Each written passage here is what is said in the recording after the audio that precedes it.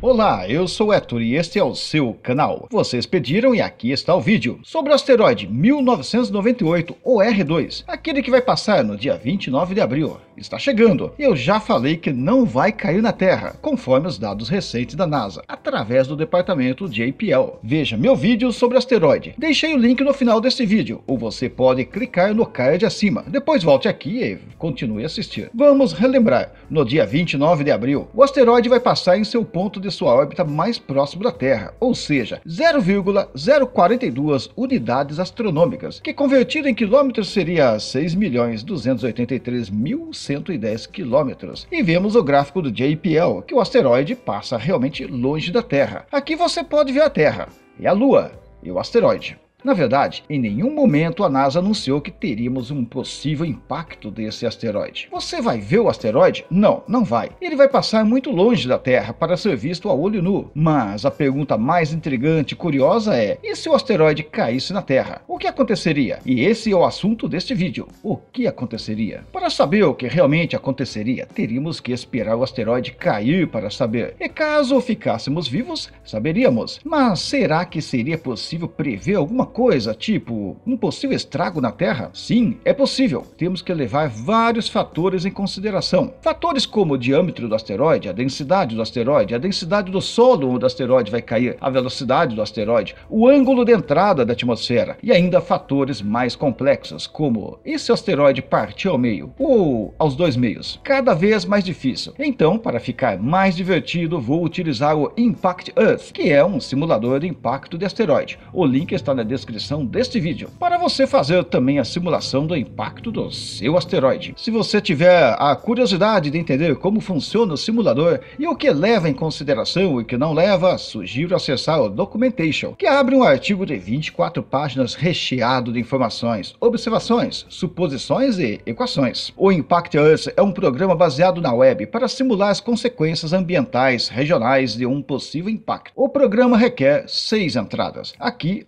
onde se lê diâmetro, digitamos o diâmetro do asteroide 1998 OR2, que está estimado de 1 a 4 km. Vou usar 4 km, já que 1 km para um asteroide você vai perceber que não tem graça pelo menos para brincar. Você pode escolher um corpo de uma lista, desde o impacto de um ônibus escolar, o Apophis ou a Lua. A densidade do asteroide. É meio difícil saber a densidade de um asteroide, que não se conhece bem. Veja como calcular a densidade. Para medir a densidade de um objeto, eu preciso medir esse objeto em uma balança para obter a massa e medir o volume. E agora, a maneira mais precisa para medir a densidade do asteroide é através de amostras usando uma sonda, uma sonda espacial. Comparar as amostras determinando a densidade dessas amostras. Escaneando o asteroide temos o volume, volume e densidade. Temos, portanto, a massa do asteroide, mas para isso devemos enviar uma sonda para o asteroide, o que a NASA também não enviou. E agora? A única solução é estimar a densidade baseada em resultados obtidos por outros asteroides. Asteroides estudados através de observações de imagens e espectroscopia. Não se consegue exatamente, mas chega perto. Por espectroscopia podemos descobrir o material do asteroide, mas espectroscopia não é o forte de um asteroide, pois refletem pouca luz luz do Sol. Vamos usar neste exemplo 2 gramas por metro cúbico, que convertido em quilogramas por metro cúbicos é 2.000 quilogramas por metro cúbico. Por que 2.000? É o que normalmente uso nos cálculos. Seria uma média das densidades da maioria dos asteroides. Você já percebe que vamos ter resultado aproximado. Não temos como saber com exatidão o tamanho do estrago. Próxima entrada, o ângulo do impacto. Podemos configurar desde 0 graus, que é aquele objeto que daria uma rasante da Terra, Terra, como o meteoro de Tunguska, até 90 graus. 90 graus seria o asteroide ideal para uma destruição maior. Então vamos deixar em 90 graus, já que é para cair. Então esse asteroide não vai deixar recado. A maioria dos impactos é em torno de 45 graus, conforme citou o astrônomo americano Shoemaker em 1962. Shoemaker foi um dos descobridores do cometa que colidiu com Júpiter em 1992, o cometa Shoemaker-Levy 9. O asteroide 19 1998, o R2 não vai cair na Terra. Então não temos como saber qual seria o ângulo de impacto. Aqui devemos selecionar a velocidade de impacto. O mínimo é 11 km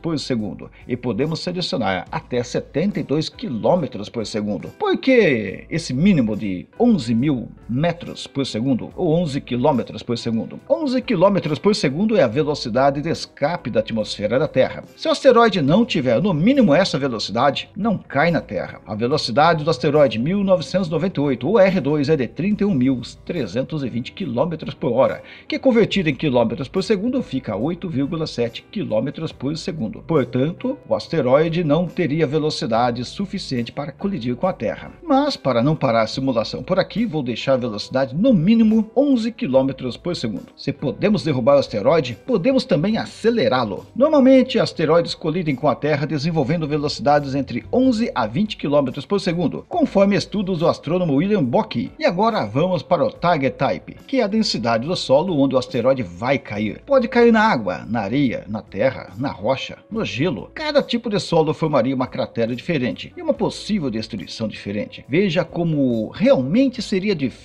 prever o estrago. Nesta simulação temos apenas três opções. Na água, com a opção de inserir também a profundidade em metros, pois um asteroide que cai em um lago de 10 metros de profundidade teria um estrago diferente se caísse no oceano. O segredo de ter apenas esses três tipos de solos é a densidade do local onde cai o asteroide, a densidade do solo ou da água, a densidade da rocha sedimentar. Vou derrubar o asteroide na rocha sedimentar, depois eu jogo na água. E a última entrada que precisamos para simular o impacto é a distância do impacto. Vou colocar 20 mil quilômetros, longe mesmo, eu quero a distância desse asteroide. Vamos ver se nessa distância a gente fica vivo. E finalmente calcular o impacto. Esperando o meteoro cair, vai cair na América do Norte. Sempre cai na América do Norte. Primeiro dado, sem dados a reportar, que é a entrada da atmosfera. A entrada de um asteroide na atmosfera terrestre é um processo complexo. Envolve a interação da atmosfera com os fragmentos do objeto impactante no campo gravitacional. Para se ter um cálculo mais preciso, muitos refinamentos são complexos demais para incluir nesse programa. Então foram feitas uma série de simplificações drásticas, mais um item no rol da dificuldade em prever o estrago em uma possível colisão. Porém,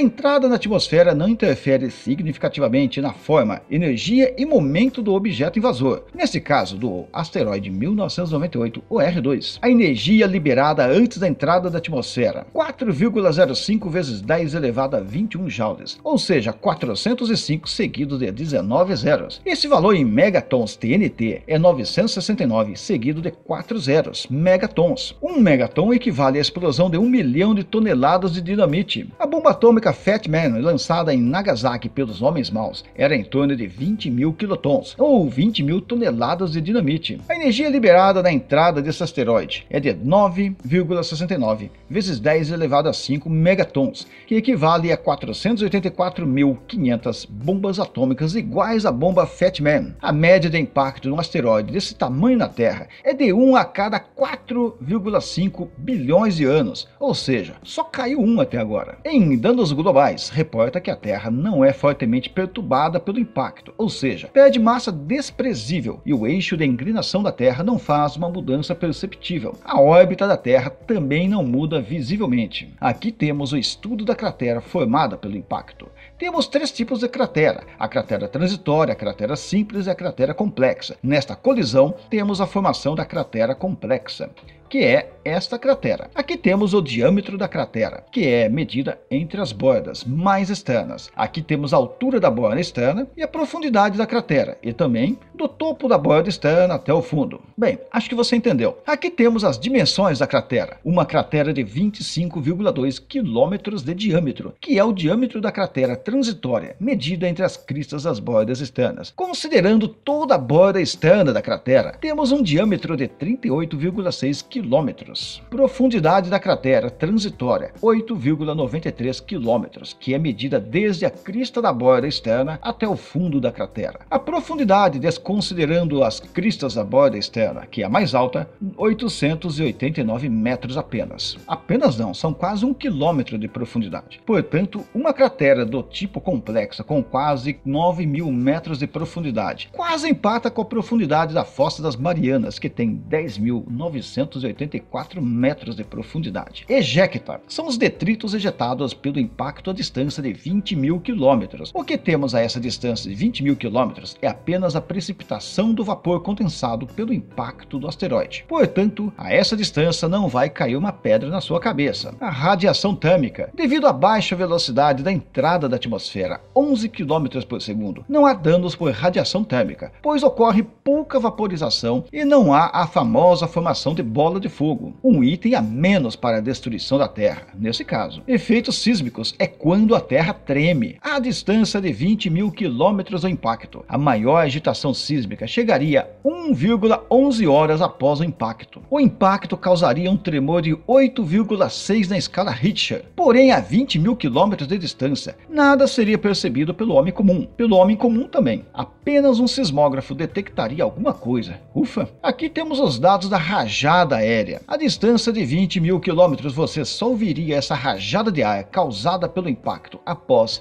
16,8 horas a um nível de intensidade de 49 decibéis. Facilmente ouvida, mas digamos que você teria que estar atento nesse momento para ouvir de verdade. E finalmente, não haveria tsunami, pois derrubei o asteroide na Terra e não no oceano. Fiz outra simulação derrubando o bendito asteroide do oceano a 5 mil metros de profundidade com as mesmas configurações anteriores, inclusive a distância de 20 mil quilômetros do impacto. Percebi as seguintes alterações. A cratera, também do tipo complexa, de 40,3 quilômetros de diâmetro. Uma cratera aberta na água e, logicamente, depois a cratera é preenchida com água, pois é uma cratera temporária. Em Ejecta temos uma surpresa. Pequenas partes do objeto são lançadas a 20 mil quilômetros de distância. Caiu na água então temos tsunami. 25,7 horas após o impacto, a distância de 20 mil quilômetros, altura das ondas entre 2,8 a 5,6 metros. Logicamente, se você estiver longe do litoral, não vai ver a onda. Simulei a 50 quilômetros de distância do impacto e obtive uma onda de